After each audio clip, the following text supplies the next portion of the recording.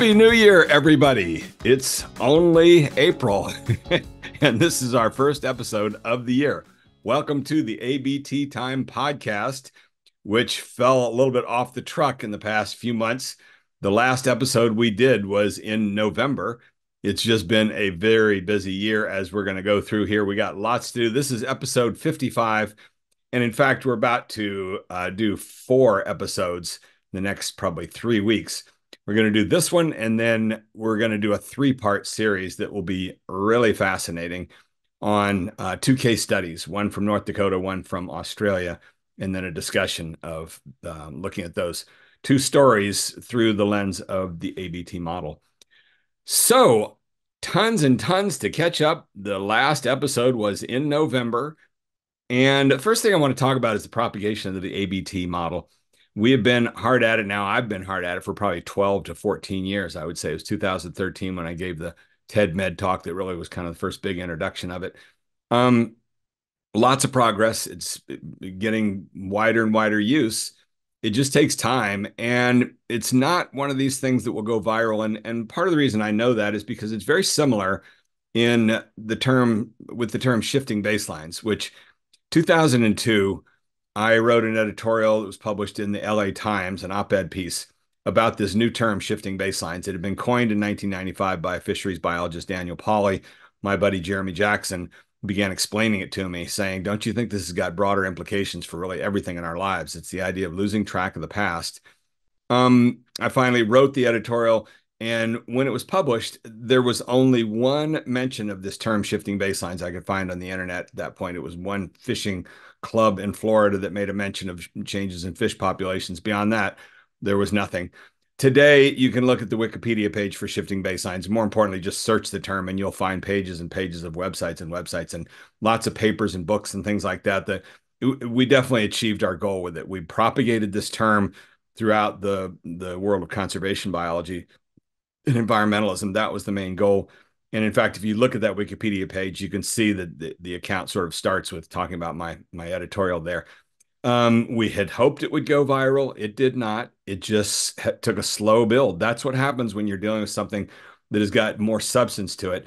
There was a term that came out a couple years later, which is the new normal, that did spread rapidly, and that's in common parlance today, used all over the place. But it's not nearly as powerful new, the new normal doesn't tell you anything to work on in the past. Shifting baselines points you right to you've got to dig in on what are the baselines and how have they changed. It's a more analytical term. As a result, it's slower to propagate, but it's more powerful in the long term and tells us a lot more. So that's all very parallel to what we've seen with the ABT model, which is I had wondered in the beginning when I gave actually the first talk was in January 2012 to a thousand ocean scientists in Anchorage, Alaska, and a whole crowd came up afterwards said, "Oh my goodness, you know this ABT thing, we've never heard this before." And I thought maybe this is something that could kind of go viral. But pretty quickly, I began to realize no, the ABT will never go viral. It, it takes a lot of thought. Um, as a result, it's very powerful because there's so much substance to it. But, you know, it's not storytelling, it's getting deeper than storytelling. It's looking at narrative structure, this tripartite structure inside of how we communicate and as a result, it takes time to pick it up, takes time to really master it. And but once you do, it's something you'll never let go of. So that's where we are right now with the journey with the ABT, which is lots and lots of groups. As a matter of fact, we've now um, had three forms of training that have risen out of the 11 books I have now written about communication, in which most of them are about the ABT. So we had an initial model that came out of my Houston We Have a Narrative book in 2015 and we did that for five years. We did, I think, a, a hundred different rounds of story circles, and it was all in. It all began in person with our demo days. So tons and tons of fun with all that, and probably a couple thousand people went through the Story Circles training program. Then the pandemic hit in 2020 and really mandated that we had to change the model because we couldn't do things in person anymore. That was when we began the ABT course, which Matt and I have been running intensively now for four years. It's been an incredible journey. As a matter of fact, we're in April now of 2024, making exactly four years. The first round of it we did in April of 2020, just as the pandemic was setting in. And we put a little announcement on Twitter on a Monday and wondered if we could fill 50 slots. And by the Friday, we'd filled them all up and realized, wow, there really is an audience uh, ready to, to dig in on this. we've now run that course 40 times and we ended up with four guest faculty members each of whom probably gave their presentation 25 to 30 times i would say. It's been tremendous course. Uh, last time we did it was last fall with emory university medical school and we'll probably do it with them again this fall. But for the most part um, it kind of hit limitations with the the zoom world and i'll talk about that in a minute. And so now we have morphed into new form of training which is the DayBT, and I'll tell you about that in a minute. So we started the DayBT last year, and now we'll be doing it for the indefinite future. And this is what we're going to get into today. We've got special guest joining us who is our uh, quantification expert for the new DayBT training. And here's a little flyer that we put together for anybody watching on the, the YouTube version of this podcast, which gets into the um, the three new elements that we get with the DayBT training. So the DayBT, um, instead of going for 10 one hour sessions, it goes for three weeks. And number one, there's no obligatory Zoom sessions. That was really something that was great during the pandemic when people had tons of time, they were stuck at home and they really kind of cherished this opportunity to join a group on Zoom for an hour. But as the pandemic ended, we began to hear back, especially from some of the government agencies, that everybody had just done enough of the Zoom time and we're burned out. And so we, you know, it's important to listen. That's one. That's going to be the the key dynamic of the next three episodes as we get into these case studies is the failure to listen. So we've done the best we can to listen to folks, and as a result, we morphed into this new training, which um, first off has no obligatory Zoom sessions. Uh, as a matter of fact, it almost has nothing obligatory other than you send in your ABTs uh, for us to analyze. Secondly, it has this um, quantitative element that we've developed at the beginning of this year. That's what we're going to dive into because I think it's very, very cool. Uh, nobody's ever come up with a quantitative way to look at narrative structure and to guide people in getting better with narrative structure. It's very powerful. And then thirdly, um, we've got this fun exercise we put together called the ABT hot seat, and that becomes a part of the training. So the weekly schedule for it is on um, for your group if you book it on Monday, Tuesday, and Wednesday. All you do is uh, Matthew sends out a queuing email that asks you to send in your uh, one sentence ABT of the day. And so, and you can write your ABTs on anything. It can be about the TV show you watched the night before, it can be about your dog, who knows what. It's just to get you into this daily rhythm. This this really kind of arose from our good buddy Leo Russo uh, Russo at Pfizer, the head of their global medical epidemiology group we've been working with for a couple years, and he had said to me that you know my people don't spend that much time writing proposals and papers and giving presentations. The main thing they're doing is all day, every day, communicating verbally of what's going on with their projects. And we really need help with trying to get that communication into a more concise form so that people don't go on and on and on in the and, and, and mode. And out of that, I began thinking, it took me a few months. I began to come up with this idea of this DayBT training. And so that's what it does. And as a result, we've got this one exercise that happens in each of the three weeks of the hot seat. So Monday, Tuesday, Wednesday, all you do is you send in one email and we gather all those and analyze them. And in a bit, we're going to have our guest, um, Hailey, join us, and that's her role in the group is that she's our official quantifier of the the daily ABTs that everybody writes in this training. On Thursday, there's this optional one hour session called the hot seat where we pull everybody together on Zoom and Matthew leads it and cues everybody with these questions, uh, with just simple questions. You know, right now, off top of your head, give us the one sentence ABT of the worst movie you've ever seen. And this is to help people use the ABT in a real world setting. We've heard from a number of people they've gotten so much value out of it being in a group that's you know everybody's reporting in and somebody turns to them and says you know in a minute we want you to tell us what's going on with your group for the past couple months and to be able to formulate that instantly into the tripartite structure of setup problem solution that the ABT gives you is a, a, real strength and asset rather than just rambling and going on a bunch of things to take people on a little arc that is focused like that.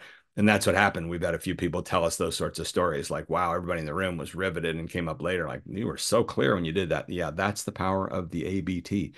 So the hot seat session on Thursday, then we go to work and we do a couple things with the ABTs for that week. So all the ABTs are pulled together that everybody sent in and the first thing we do is our group member Devo Brown, who has been working with us for a couple years, and he's one of our structuralists. He takes a look at all the the ABTs and comes up with qualitative comments on here's some basic patterns I'm seeing and how people are putting these ABTs together, and they're kind of missing the mark on this or that. You know, they're failing to get the singular narrative and things like that. Um, then for the quantitative side, Hailey steps in and she does these three questions that I'm going to tell you about in detail. And that is really the novel thing where we then can give you a number on how your group is doing for each of these different dynamics. And you can begin to work on that and improve over the course of the three weeks. So that is the basic structure of the DayBT training. And now to kind of catch up on what's gone on since last November when we disconnected um, with the the um, podcast and just kind of buried our heads in and doing all this work. So in the fall, we developed the beginnings of the DayBT training. It wasn't until January that we came up with the quantitative element to add to it that I think has jumped it up another level. We ran it in the fall with Global Health Labs in Seattle, who become one of our major partners.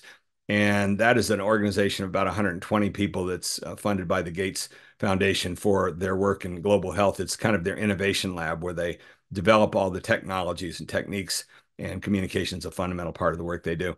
Then we also did a round of DayBT with the World Bank with about 65 people from mostly their South Asia uh, groups. And in January, Matthew was invited to um, Vilnius University in Lithuania. And you want to give us a little rundown on what you experienced in Lithuania?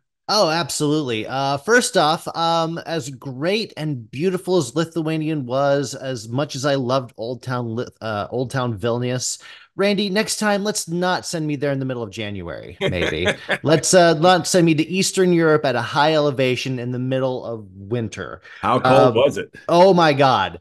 Uh they I don't I don't really know because they use this like Celsius thing, so but cold. we weren't raised on that. Yeah, exactly. I, I have no idea what they were talking about. Uh at least in that respect, because everyone spoke perfect English, like the entire time so that was great.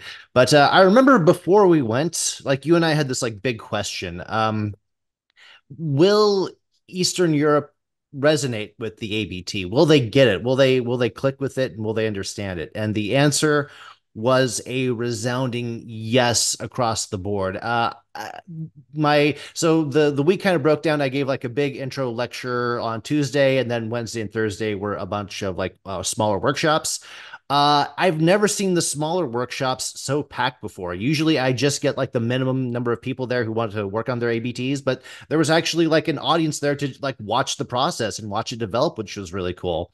But there was this one moment when I realized that I'd really like kind of like broken through. And it was when like during one of the workshops, uh, after I'd finished like working with this professor on his ABT, he said, "You know, Matthew, I've been working I, have been using actually the three part structure for writing for like the past 15 years of my research papers. I've been I've been doing it this thesis, antithesis, synthesis style for like years and years and years, paper after paper.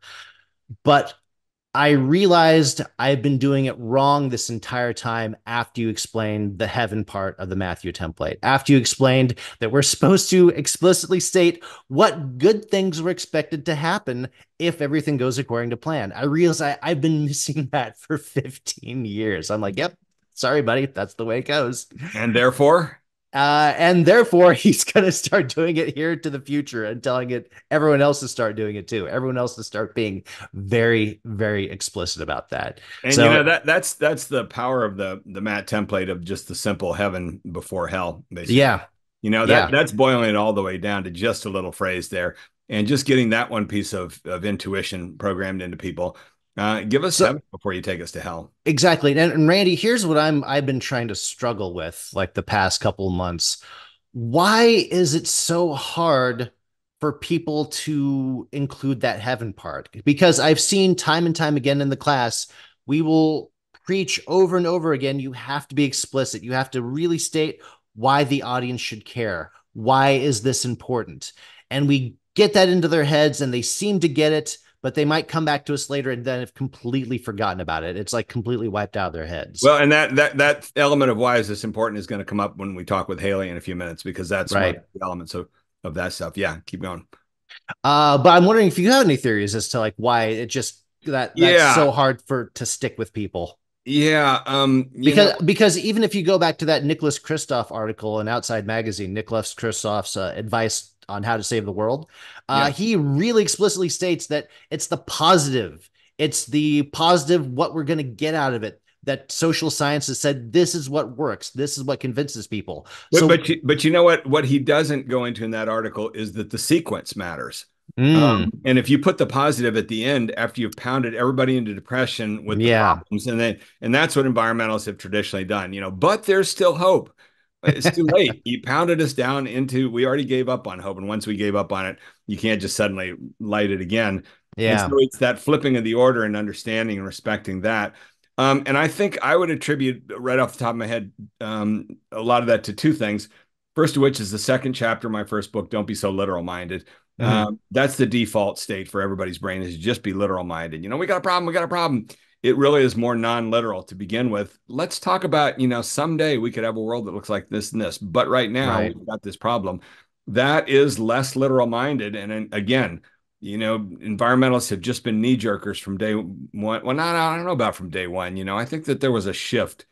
Um, that's a whole separate story. Mark Dowie's book, Losing Ground, the 1980s and 90s, how the, the mindset of the Amer- American environmental movement shifted. Mm. But it's that problem of people just, um, I'll, I'll tell you what it is. I, and I th- actually, you know, God, now we're making up stuff as we go along but I think there, there really was a shift. And I think that shift was driven by the information explosion in the 1980s uh, that I lived through. And what that did was that that took away context. And this is what we're learning with the ABT is that context is the blue material up front. It's the heaven part. Yep. Yep. And Yep. that is Yep. really tough to, to get that in there. And when you get into a world of too much information where everybody's screaming and shouting, they don't give you the time to, to present context and everybody then just defaults right to the contradiction. So i think that's that's a driving force. And and you know my overarching statement about everything to do with society is that none, none of it makes sense except in the light of the information explosion. It's what i've witnessed in my life. There was a different way of thinking and living that i grew up in that doesn't exist today because of what information propagation has done to us everybody thinks differently today and on and on and on with that so I think I would go with that one um, to begin with. And the second thing is what we know and we preach in the ABT, which is that all the power lies in the contradiction. Contradiction is what lights up. Mm. and so again, you know, everybody's inclined to just let's go right to the thing that's going to light people's brains up. And of course, that's what journalists do with their inverted pyramid model is they begin with the contradiction. They begin with six people were killed uh, right from the start before they try to feed you some context that's the fundamental divide between what we're propagating here with the the ABT, which is basically three act structure um, in a more analytical version, versus the inverted pyramid of journalists. So that's I think what I would give for a shot at that. Um, Yeah. stay with us sense. here. Let's keep going on the um. So the quantitative PCI index is when we developed that in January, began to use it. The first group that we used it with was the National Park Service, um, training. We'll get into that in a bit with Hailey. Then um, February, what did we do? We ran another round of, uh, or first round with the GH Labs group using the DayBT. In March, Matthew set to work on developing his new project around um, in developing a Twitch channel. Uh, give us a little run, rundown on what you're doing with that. Yes. So basically, I found that what I really, really enjoy doing with this ABT stuff is the coaching aspect. I love going to Vilnius. I love going to uh, Bangkok or Caltech or wherever and working with people one on one.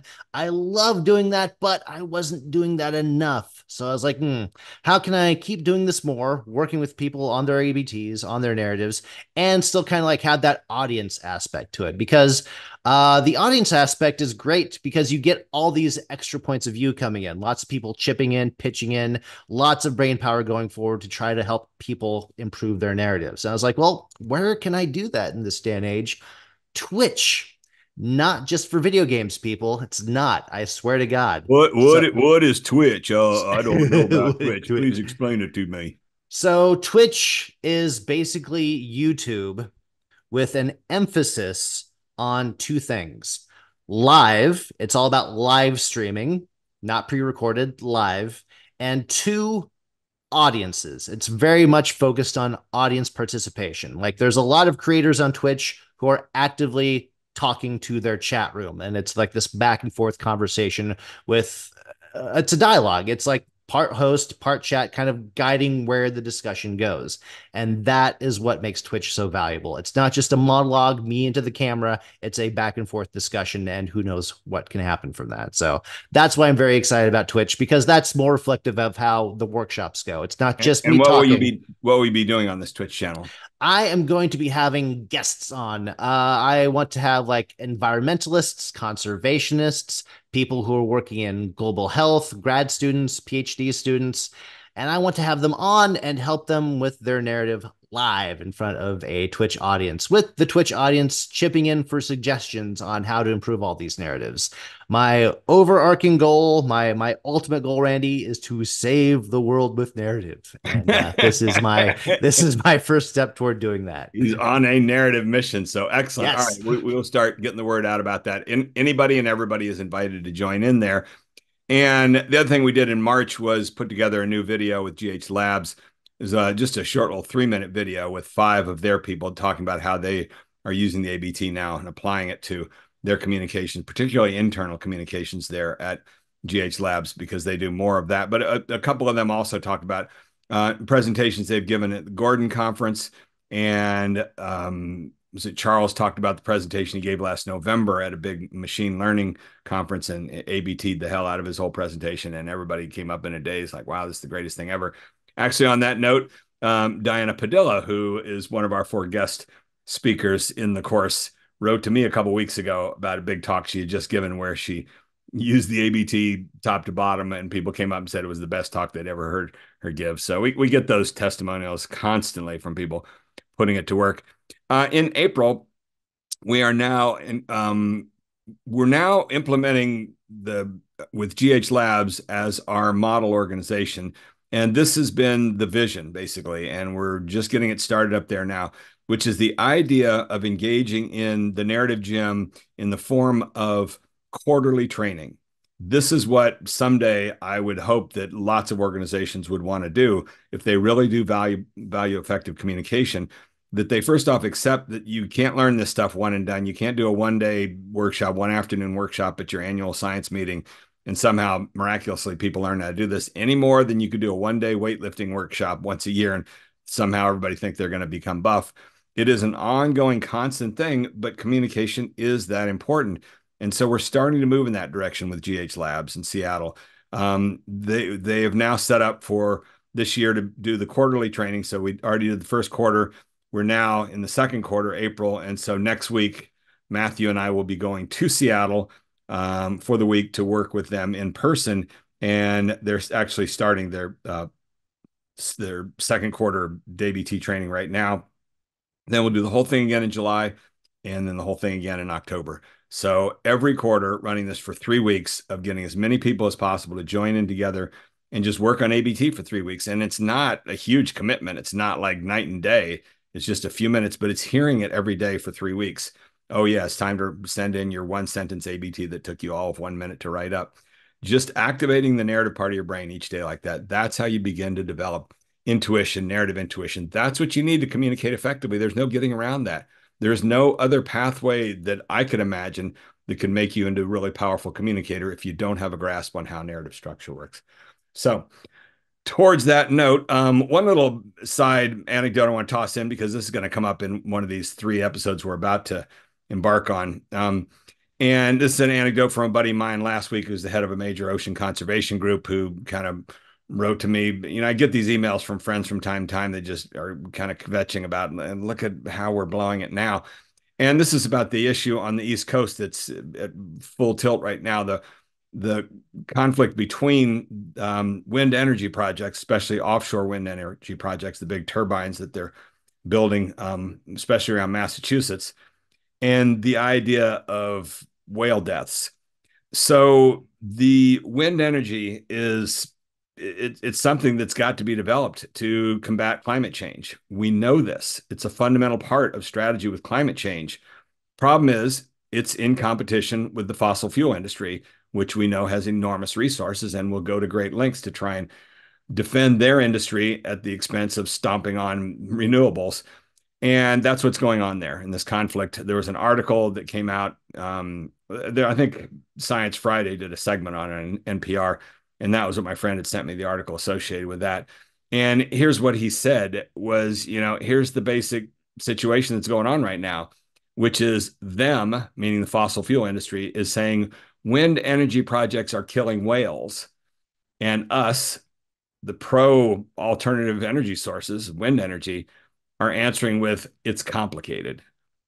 And you can't do that. People can't follow it's complicated in the mass communication world. Uh, how many times can we say this? And this is the challenge is finding the singular narrative. They found their singular narrative, which the environmentalists are saying is very dishonest. What they're doing is every time a whale dies now, they're finding some way to blame it on these turbines and the wind energy when in fact it's it's unrelated. Most of them are strandings or uh, entanglements from fishing gear and things like that.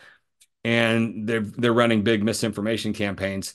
And the problem is that the environmental crowd is coming back with it's complicated. You know, it, uh, you just can't do that. You've got to put together a strategy. This is where the ABT becomes the central tool to help you find what is that singular narrative. What's the what's your butt bomb? On and on. This is what we work with people on. So, and this answer of it's complicated is what cropped up in Australia in conversation I had a couple days ago about the um, second case study we'll be doing in these upcoming three episodes. So that's why I wanted to toss that out right now. Okay, and now that leads us to the last part of this episode, which is to get into a little bit of depth about this um, PCI analysis we're calling. This is now the quantitative approach we're taking in doing the DayBT training with groups. And all that this is, it's nothing that sophisticated. And it sounds PCI sounds like, oh, it makes you think of PCR or something like that. Sorry, but we had to give it some sort of name.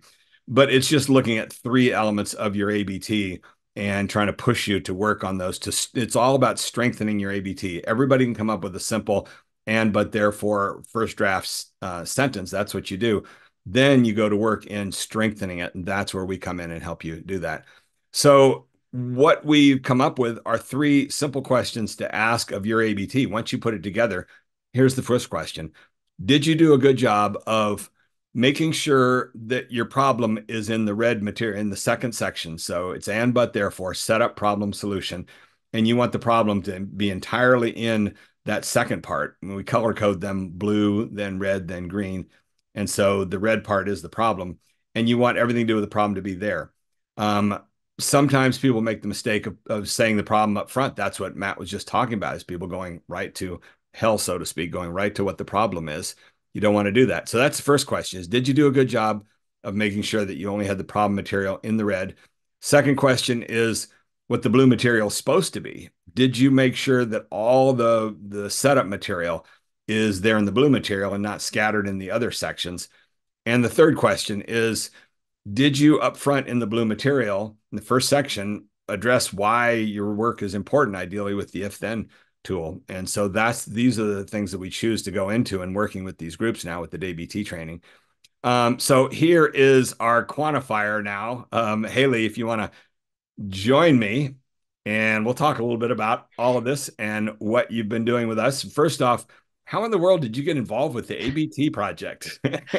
um, I actually was kind of stumbled across the ABT through my rhetoric invi- advisor. Um, in college, I majored in astronomy and rhetoric, which was not a common combination of majors. I think I was the first humanities science major combination they had in like 10 years. And at what so, university was this? At Whitman College.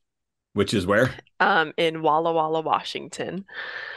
Um, and everyone was pretty excited to finally have another STEM and humanities major combination. Um, and my rhetoric advisor introduced me to your book, Houston, We Have a Narrative, which is where I first stumbled across someone talking about all the frustrations that I was feeling about the science writing world um, and actually was doing things to try and combat it. So within a few days of buying and reading your first book, I read and well, I bought um Don't Be Such a Scientist because I was so enthralled with this idea.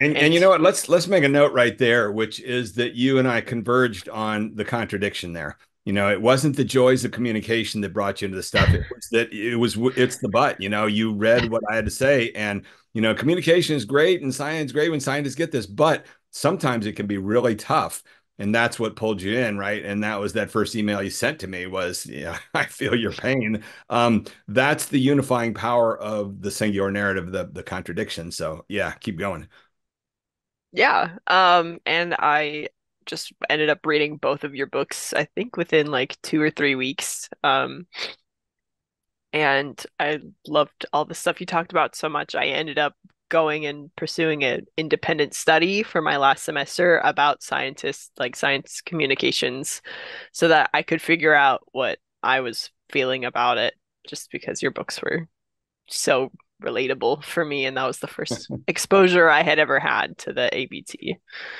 Great. And, and then what'd you do that resulted in your getting shackled and yanked into this project without even asking for it? I sent you an email.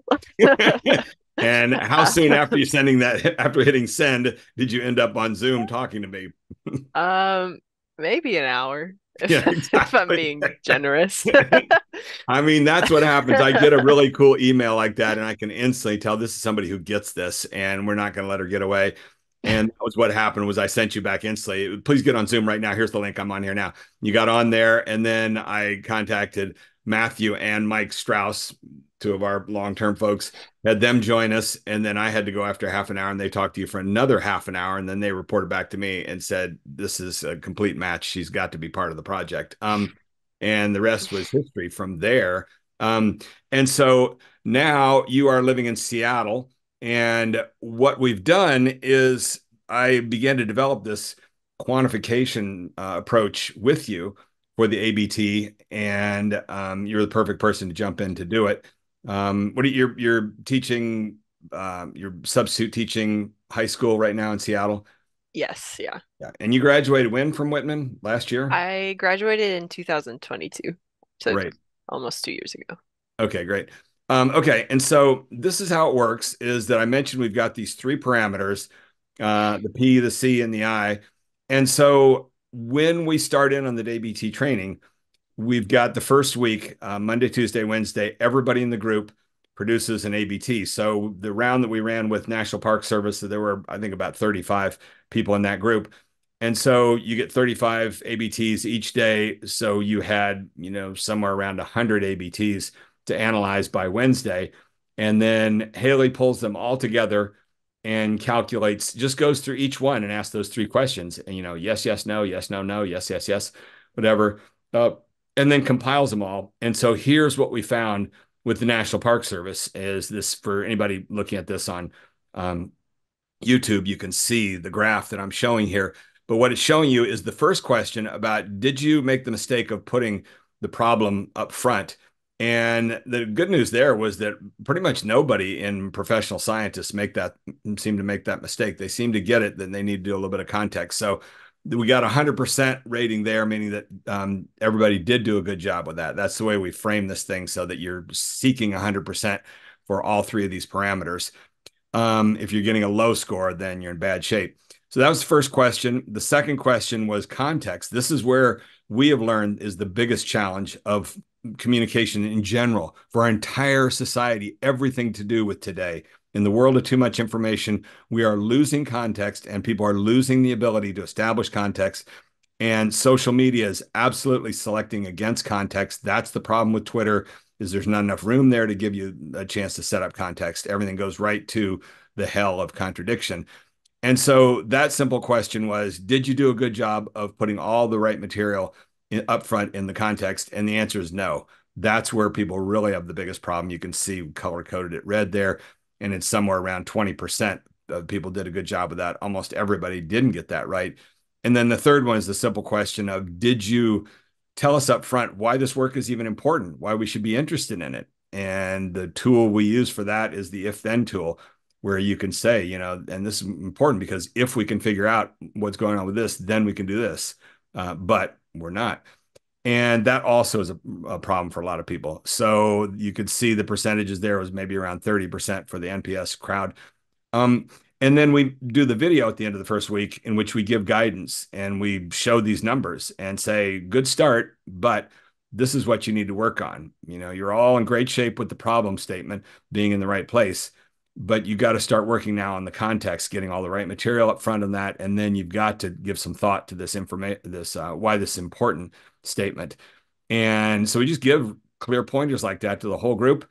And there you see in, in week two, look what happened. Um, people were told exactly what to work on. They did, and the scores jumped up to about 30% for the worst one, probably about 60% for the better one, and then the the problem one remains at 100%. And then the same thing, we do a video at the end of that week giving more guidance saying next next week now work on this. And that's what they did. They were, did even better. And so you could see over the course of three weeks, people's ABTs began to take a little bit more of the proper shape by taking into consideration these sorts of things. And the other thing, so that's um, you can see here across the three main groups that we've run this with, um, the National Park Service and then GH Labs. Um, and then AJAS is a group that Mike Strauss and I have done with AAAS for the past, um, oh God, about four years or so. And it's high school seniors, and they end up approaching narrative very differently. So you can see that all three groups have trouble with that context one. They have stuff scattered all over. The question of is the work important? They also start pretty low on that. I mean, these things, these are more non-literal things to think through. You know, there, there's a tendency to be literal minded and assume, well, everybody thinks what I'm doing is important. No, you got to think a little more broadly than that. But the most interesting thing here with the the high school kids is you notice that both of these groups, the professional scientists, had no trouble knowing what context is from the outset or um, making sure they put the problem in the right place. But a lot of youngsters don't understand context at all yet. That's part of maturation. And as a result, when you ask them to tell us the ABT of the research project they're doing, they have a tendency to go right to the problem. You know, nobody's ever sequenced this gene, um, therefore I'm sequencing it. That's they go right to the but and then the therefore, and then they throw in a few things after the fact. They don't know how to begin very well with we've got this disease and we've been working on it for 100 years and if we can get this one gene sequence yada yada then we'll get all this sort of stuff but right now so we can see that again quantitatively that that's one of the problems the shortcomings uh, of students starting out when it comes to communication with narrative and this then becomes a summary of where we are now overall is that we see that problem is common with students only, but professional scientists seem to, by the time they've been doing some work, they've got a got a pretty clear idea of what the context is. Quite often with under with with high school kids, they've been given a project by their teacher, and the teacher knows the context. They just don't quite yet have it figured out. Um, in terms of the contest, the context itself, making sure that the right material is in the context, that's a challenge for everyone. And then this importance thing is it's the most fixable of these three criteria, which is just use the the if then tool and use it up front. So these are the starting elements that we're using now with the DayBT training, and there's more to work on beyond that. There is uh, if once people get all this down, and in fact with the GH Labs groups, we're starting to move more uh, to a second level, which is to work on the red material and to give them coaching on the but because dynamic. And, and again, this is where you get the strength. The power of storytelling rests in the specifics. The more specific in the right way you can make your ABT, the more powerful it becomes. And the more you grasp that sort of stuff, the deeper the intuition you develop and how to communicate. So, Hailey, um, we're about ready. Well, actually, today we've started the next round with GH Labs. Um, how excited are you to analyze another big round of these ABTs? I'm very excited. Um, I, it was super fun doing all the other ones the past time, especially with GH Labs. Um, and just with the whole PCI index process, being able to see people grow throughout yes. the weeks is super cool.